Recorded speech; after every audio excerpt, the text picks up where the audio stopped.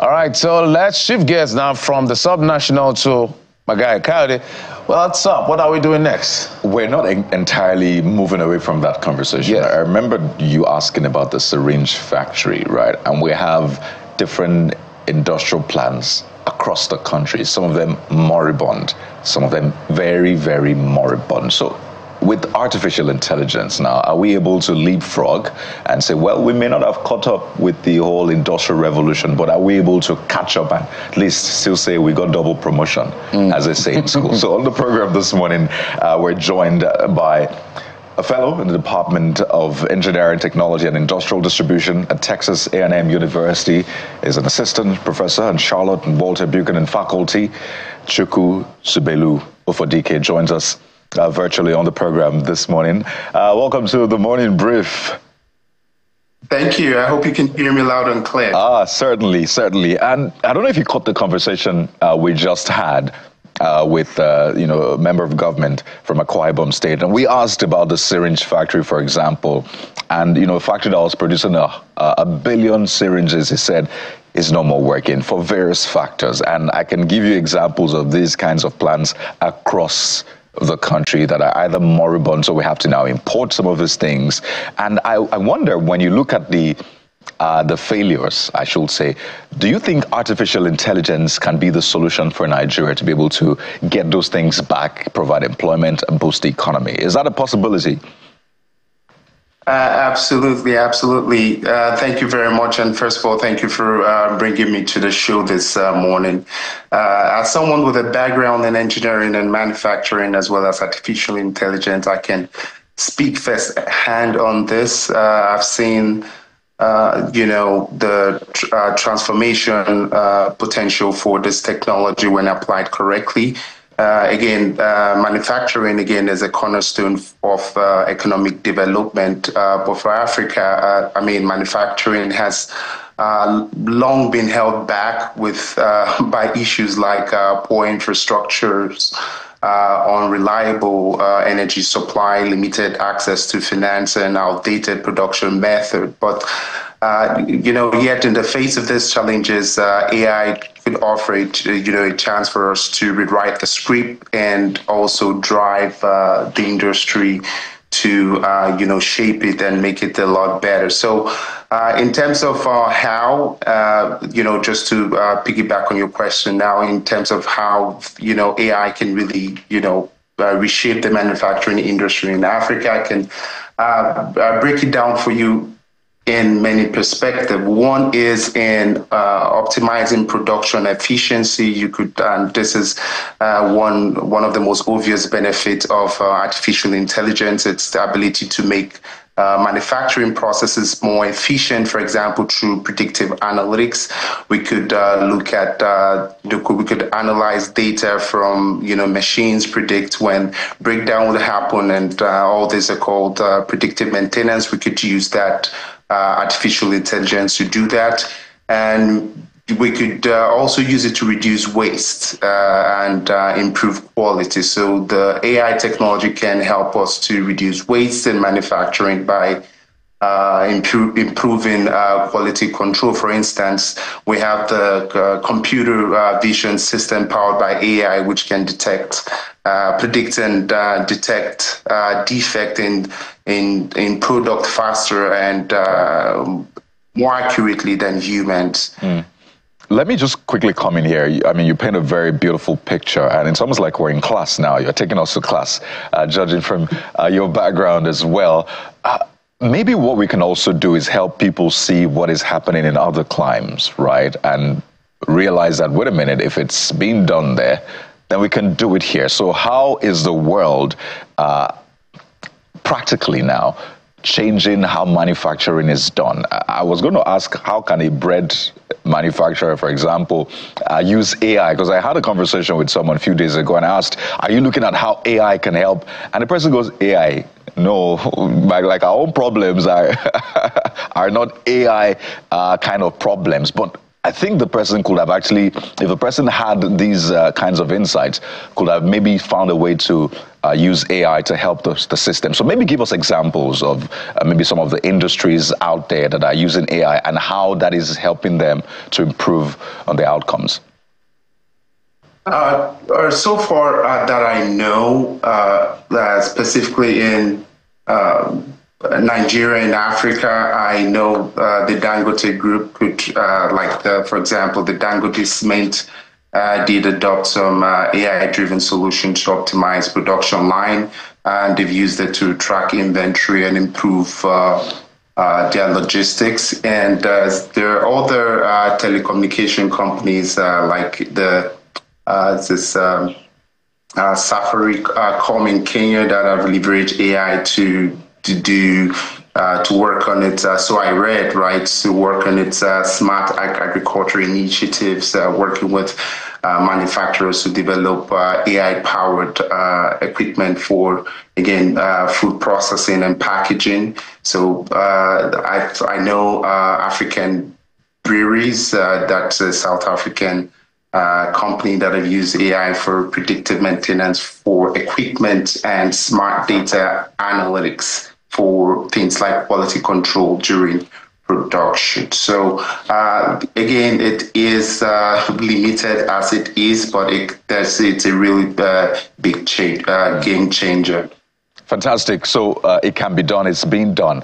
But then the question arises, which I think that the person had issues with, is the cost right? Uh, so this person is who's trying, struggling to pay uh, salaries, trying to buy diesel or petrol, as the case may be, trying to buy raw materials, which are quite expensive now. And then you tell the person, hey, you can use AI. And I imagine if he put it out as a vote to the workers, uh, do we get this AI system on board and maybe cut down your salaries or just keep paying your salaries as it is and leave the AI out, they will certainly vote for getting salaries. So, in terms of costs, is it really affordable? Beyond the buzzword, everybody wants to jump on AI.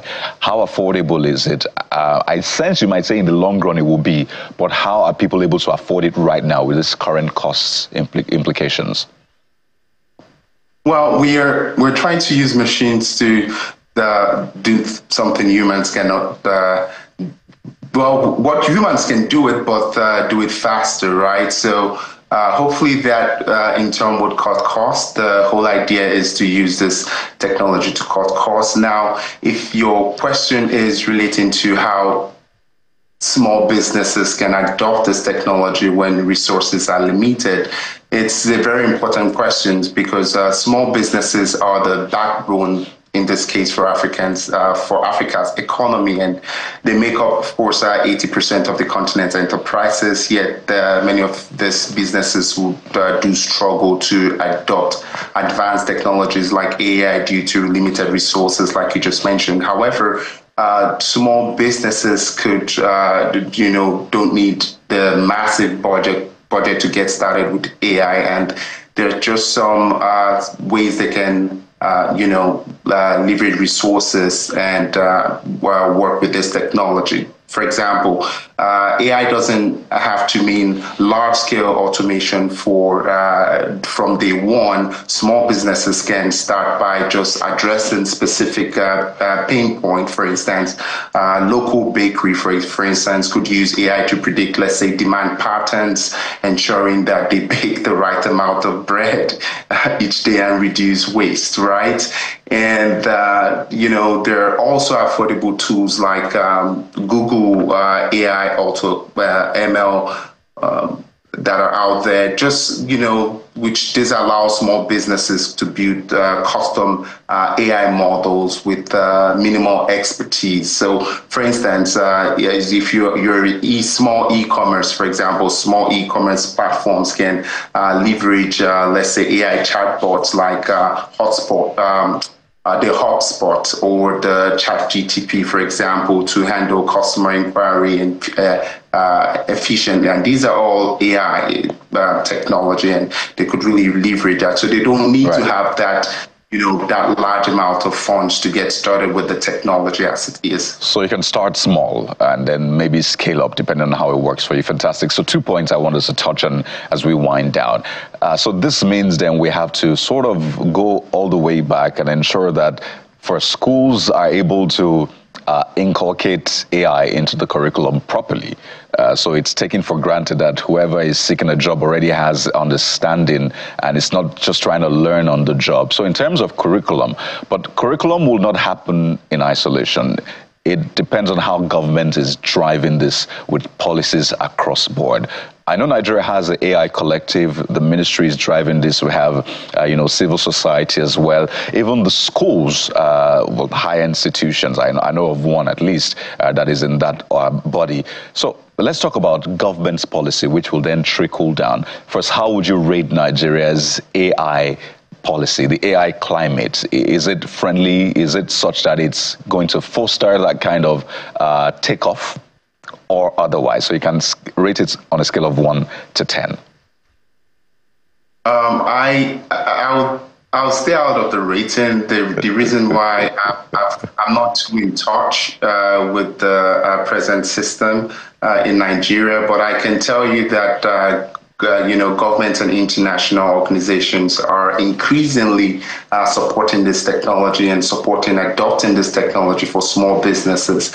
Uh, for example, the, you know, because I, I just, um, you know, not just focus on Nigeria, just uh, African, uh, Africa as a whole. Rwanda, uh, for example, has this national uh, artificial intelligence policy that provides uh, incentives for business adopting AI technology. And I'm uh, and I've read the uh, you know uh, in the Nigeria case there um, the uh, a lot of initiatives coming up.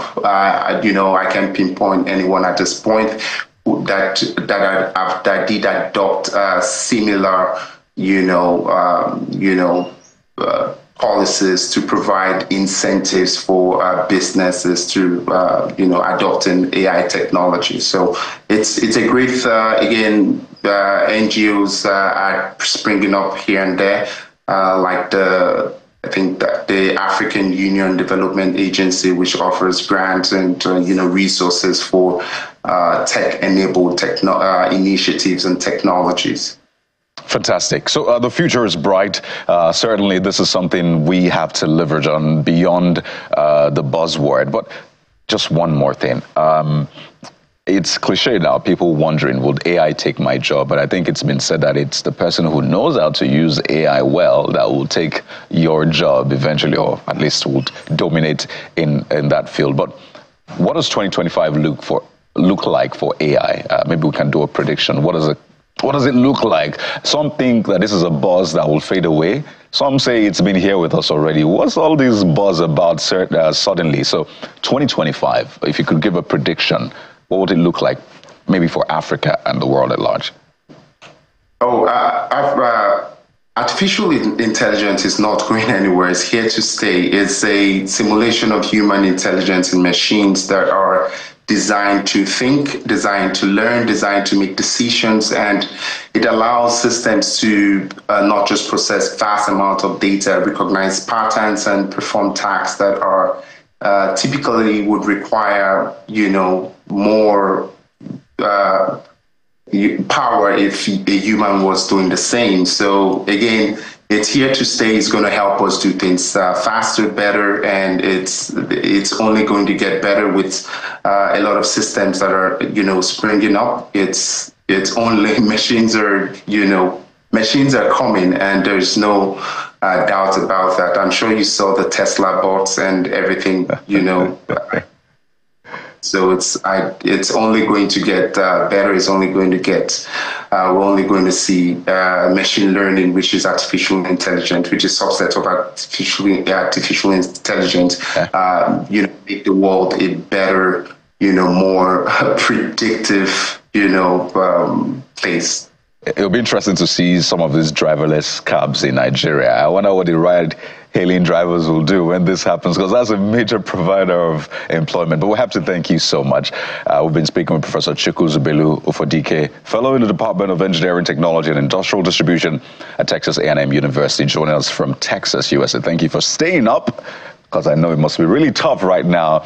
I wish you uh, the very best. Thank you so much. I appreciate your time. Thank you. Well, there you have it. Uh, you, as a manufacturer, can use AI to predict your demand trend, know when it's time to fix your machine, and so much more. So let's dive right in. You're welcome. We'll take a moment now. When we return, uh, the morning brief continues with a very important conversation. Just stay with us.